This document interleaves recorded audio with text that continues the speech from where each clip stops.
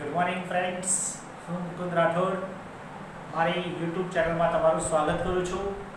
હવે આજે આપણે એક નવો કાળ શીખીશું, જેનું નામ છે ફ્યુચર કન્ટિન્યુઅસ ટેન્સ જેને આપણે કહીએ છીએ ચાલુ ભવિષ્યકાળ મિત્રો, આપણે ઘણા બધા કાળ અત્યાર સુધી શીખી ગયા. હવે આપણો જે કાળ છે ચાલુ ભવિષ્યકાળ તેના વિશે સમજીએ.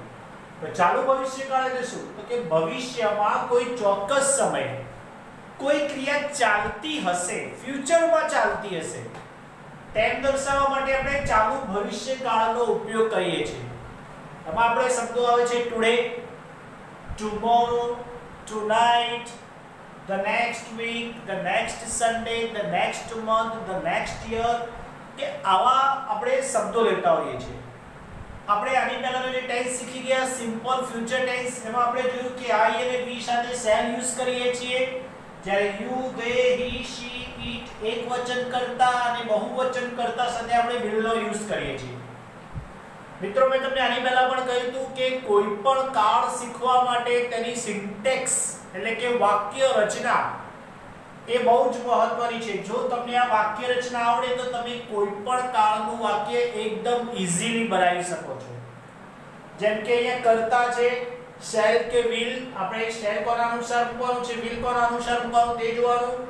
ત્યારબાદ આપણે ચાલુ ક્રિયા દર્શાવવાની છે એટલે બી પ્લસ ક્રિયાપદને આઈએનજી આવે છે અને કર્મ. જેમ કે I shall be watching the movie tonight at 10 PM એટલે કે આજે રાત્રે 10 વાગે હું મૂવી જોઈ રહ્યો હોઈશ. એટલે ફ્યુચરમાં મારી ક્રિયા ચાલુ હશે. We shall be plowing the field tomorrow at this time કે આવતીકાલે આ સમયે અમે લોકો ખેતર ખેડી રહ્યા હઈશું the field એટલે ખેતર અને plowing એટલે ખેડવું he will be dancing on the stage the next sunday આવતા રવિવારે તે સ્ટેજ પર ડાન્સ કરી રહ્યો હશે એટલે કે આવતા રવિવારે કોઈ ક્રિયા ચાલુ છે તેમ દર્શાવીએ છીએ We shall be having a dinner tonight at 8 pm.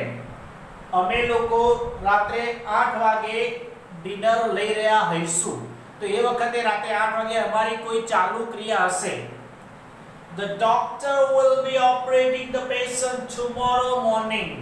આવતીકાલે સવારે ડોક્ટર દર્દીનું ઓપરેશન કરી રહ્યા હશે તો મિત્રો, આપણે આ જે વાક્યો છે આ પાંચ વાક્યોનો આપણે ઉપયોગ કર્યો જુદી જુદી રીતે જુદા જુદા ક્રિયાપદ એમાં લીધા છે અને આપણે ચાલુ ભવિષ્યકાળ શીખ્યા છે. તો મિત્રો, આની વધારે ને વધારે પ્રેક્ટિસ કરજો તો તમને વધારે ફાવશે. ઓકે